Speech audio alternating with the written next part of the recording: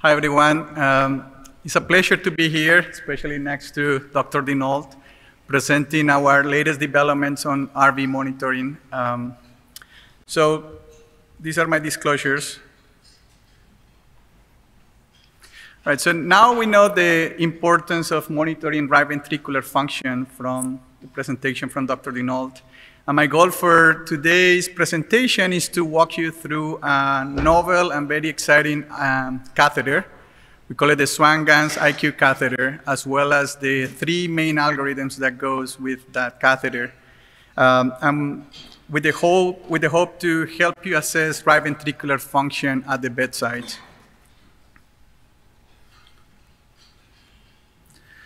So Dr. Denault briefly introduced the Swan-Ganz IQ catheter, and the current catheters that we have, they allow you to measure the central venous pressure and the pulmonary artery pressure, but not the right ventricular pressure waveform. And um, there, are, there is a, a, catheter that has been used. Um, it was mainly that, uh, designed for um, pacing, and it has a lumen around 19 centimeters distal from the tip of the catheter. And that lumen has been used for monitoring the right ventricular pressure waveform at different institutions. And the problem with that catheter is that, as Dr. Denault mentioned, um, around 10% of the cases it doesn't work. It doesn't work in particular for uh, small patients. So with the help from Dr. Denault and the Montreal Heart Institute, um, we created this Swan-Ganz IQ catheter where the lumen is located at 13 centimeters distal from the tip of the catheter. Um, so just a short story out there. Um, when we started working on this catheter, um, I remember that um, I went to one of the plants to talk to the engineers to say, okay, how we can actually add this lumen on the Swan uh, Ganz catheter. And they said, yeah, we can do it. Um, I would like to take it for, to, to do some animal studies. Uh, but they asked me, okay, what will be the optimal location for this particular lumen? And I say, I don't know. Let me just talk to uh, Andre. I call him and say, hey, what do you think is the optimal location? He said, well, probably between 12 and 13 centimeters, but 13 centimeters looks like an unlucky number, so go with 12. I said, okay. So I called them, they give me the catheter, we do an animal study, it works perfectly fine. And of course, later on, we actually did a formal study to figure out what was the optimal location. And it came out to be 12.5. So I was extremely impressed by Dr. Denault's ability to predict that optimal location. Um, so let me close that parenthesis there. Uh, but then uh, with this new catheter, now that we can measure the right ventricular pressure waveform, um, we created multiple algorithms, and one of those algorithms is to do the waveform analysis of the right ventricular pressure to extract those features and display them on the, uh, on the cardiac monitor. Then we took the waveform, uh, the right ventricular pressure waveform, and then we create algorithms to calculate the continuous cardiac output. And, and then from the, the cardiac output from the right ventricular pressure waveform, then we fuse it with the mixed venous oxygen saturation, and we were able to predict global hypoperfusion. Right, so let me go with the first algorithm. So the main goal of this algorithm is to do waveform analysis to extract the clinical relevant right ventricular features to display in real time in the cardiac monitors. So some of those features that um, was presented before are the minimum diastole, the end diastole pressure, the max DPDT, the systole pressure, the pressure gradient. And what you, what you see on the right uh, are the RV pressure waveform as well as the pulmonary artery pressure waveform and the parameters that we derive from them. So now you can imagine all the research possibilities that you can do with this data um, to evaluate now not only the right ventricular pressure, but also the coupling with the pulmonary artery pressure waveform as well as on the left side. Then over the last couple of years, we have collected data on more than 100 patients. And so if you're curious about the distributions of those particular features, um, these are the uh, specific distributions. And one of the questions that I have been asked um, several times is how do you actually validate those features? And how do you know, how, have you done any comparison between the features from the RV, from the Swan-Ganz IQ catheter, and the uh, Millar catheter, those that are non-fluid filled? And the answer to that is we did multiple studies for the FDA submission where we did actually that comparison, in particular for uh, DPDT as well. And I want to tell you that the results are very good in terms of the bias and precision when you do the Bland-Altman plots as well as the correlation. So the next algorithm, now you take the RV pressure waveform, and from that waveform, you, um, the, the goal is to calculate continuous cardiac output. So this algorithm is called RVCO. It takes as input the right ventricular pressure waveform, 10 seconds of that waveform, and then it outputs the flow, pulmonary artery flow and cardiac output, although the flow is not displayed in the monitor currently. And it takes as optional the input of the intermittent cardiac output. So you actually see it on the right, the right ventricular pressure waveform on the top, and then you see the corresponding parameters. But this algorithm was developed using a state-of-the-art uh, deep learning methods. And I want you to bear with me in the next two slides. I'm going to give you a very high-level overview of how it works because it's very complex but hopefully you will, you will understand the core basics of this. So the core of the algorithm is called an autoencoder. So what, what is an autoencoder? What it does is takes any input signal and it just condenses it into the main representation of the input. So they call it the latent space. But in lay terms, what it means is imagine that your input are pictures of dogs, cats, and in the latent representation, you train a neural network to actually condense that information. So if you can actually learn that it has four legs, it has a tail, has whiskers, you can think about that as your latent representation. Then you train the model to decode, based on that latent representation, the input that in this case will be the Mona Lisa. So the applications are infinite. In this particular case, you input a blur image of the Mona Lisa, you learn the latent representation, and then you decode it, and you actually have a Mona Lisa that is very clean. You can also do interesting stuff because you can take the latent space representation, those main features, and you can start tweaking it. And you can generate, for instance, images like this, where you have a mustache uh, on the Mona Lisa. And this has been also used on digit recognition, where you actually input uh, digits between 0 and 9, and you can actually decode that information. So the question is, why is this relevant to your algorithm, to the right ventricular cardiac output algorithm? Well, the question that we posed was, can we actually estimate pulmonary artery flow from the right ventricular pressure waveform? So in the example before, you have right ventricular pressure as your input, and your output is pulmonary artery flow. So what we did is we did multiple animal studies where we placed um, flow probe in the pulmonary artery, and we have the Swan-Ganz where we have the right ventricular pressure waveform.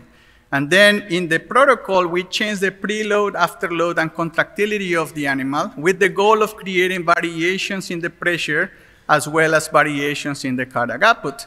And the question was, can we actually learn the flow from the RV pressure waveform. So you see, this is in blue on the right side corresponds to the actual flow, pulmonary artery flow, and the black corresponds to the right ventricular pressure waveform. And these are the results. So you have right ventricular pressure waveform on the left, 10 seconds. We train a model, an autoencoder model, to learn to go from the right ventricular pressure waveform to the flow. And I want you to focus on, on, on the figure on, on the panel B. So you have the right ventricular pressure waveform in blue, and at the bottom you see in blue is the actual flow, and in black corresponds to the predicted flow. And I, when I saw this the first time, I was like, couldn't sleep. Because this, is, this was extremely interesting that a network like this could actually learn the temporal structure of the flow. He actually knew when the, heart, when the valve was open and closing. So that was extremely interesting, and we have hope to actually calculate cardiac output. So then in panel A, you see the right ventricular pressure waveform on the top in blue, and then the second subplot you have in black. If you integrate the pulmonary artery flow, you calculate uh, cardiac output. If you integrate the flow from our pre uh, the predicted flow, you get cardiac output from the autoencoder, and in red corresponds to the thermodilution cardiac output measurements. And then we do an, a Bland-Altman plot, and the, um, and the results where we actually compare the the, the, the, the flow probe with the autoencoder, the flow probe with the thermodilution, and the thermodilution with the autoencoder. And you see that we have very small bias and very small precision. The next question is, well, you learned this in animals. How do you actually transfer this to humans? So that was very challenging. So step one was what I just explained. RV pressure wave on animal, you have a model that was trained in animals, you get the predicted flow. Then the next step was, okay, what if we actually take the right ventricular pressure waveform that we have in humans and we use the animal, the model, to have a surrogate human flow? But we know that from the temporal structure, it looks like flow, but if you integrate, it doesn't, have, it doesn't match your cardiac output that you did from thermodilution. So what we did is we actually scaled that flow to match your cardiac output. And then we retrain another model where now you input RVP uh, in human and you have the predicted flow that was corrected. And that was the autoencoder model. So the, how does it look like in, in the, in the, for the whole algorithm? So I already explained the top part. You have right ventricular pressure waveform, goes into the autoencoder model you, the output is flow. You integrate that flow, you get the cardiac output. We call it the cardiac output from the autoencoder. And then at the bottom, what we did is we actually train another model to learn the delta changes on the right ventricular pressure features with the delta changes in cardiac output. So let's say a change of 10 millimeters of mercury on the systolic, what will be the delta change on the corresponding cardiac output? and we call that the cardiac output linear regression. And then if you fuse these two particular measurements in a way that you take into account the, the noise, then you get the right ventricular cardiac output. Now, the dashed line here corresponds, if you have cardiac output from thermodilution, you can also, the algorithm can actually consume that information to improve, but it's not a requirement. So these are the results. Um, we did validation across multiple sites, multiple cardiac outputs. Um, we covered a wide range of cardiac outputs, all the way from 2 to close to 20. Uh, we have uh, around 400 patients and more than um, 1,500 uh, thermodilution cardiac outputs, because that's our reference that we want to compare against.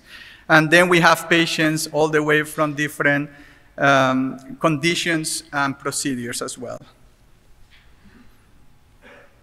So this is an example of a liver transplant case. On the top is the right ventricular pressure waveform. The second subplot, you have the black squares corresponds to the average of the thermodilution cardiac output. If you do two or three ICO boluses, that will be the average.